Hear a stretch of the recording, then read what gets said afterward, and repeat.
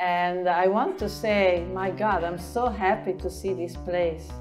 And uh, I'm so uh, really feeling strengthened and joyous at uh, realizing that for 15 years now, Red Emma has been able to be on the scene, bringing people together.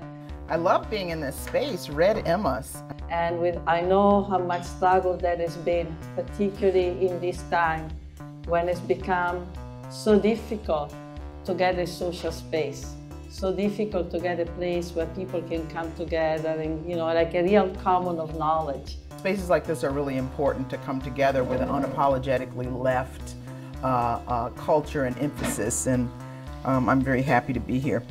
Uh, the last time I, I, spoke at Red Emma's, it was in uh, much more modest digs. It's amazing to see the community supporting the store. So thank you all uh, for being supporters of great independent bookstores in your community. You should treasure them.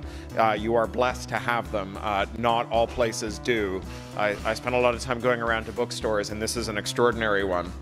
So this is my first uh, visit to the Red Emma's bookstore, and it's incredible by saying a little bit about Red Emma's. I mean, I, I am so I wanted to congratulate the collective on this new space. I wanted to thank them and express, you know, my heartfelt appreciation for the work that they do. It's a magical space, and um, these kind of spaces don't just happen, so they need your support. And I hope that you guys will come back again and again and buy food and coffee and books uh, um, as you can, um, because these places we have to support them.